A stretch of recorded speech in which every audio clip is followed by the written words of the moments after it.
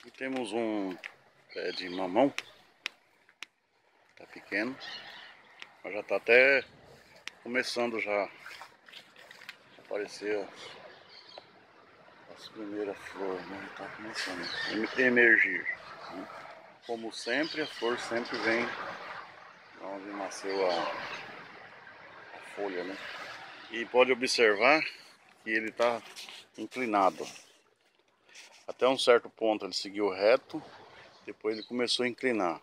Qual é o sentido disso? Ele está debaixo de um pé de manga. Na...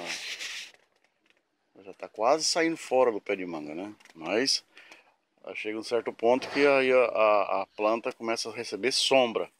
Aí ela, o galho dela vai procurando o que? A luz solar.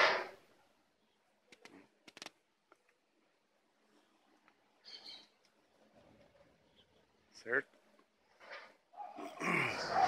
A gente pode ver isso também aqui no pé de figo, né?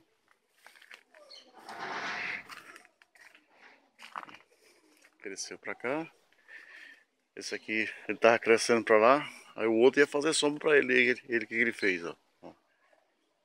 Isso. Ele inclinou pra cá. Por quê? Pra não pegar o, a sombra do outro.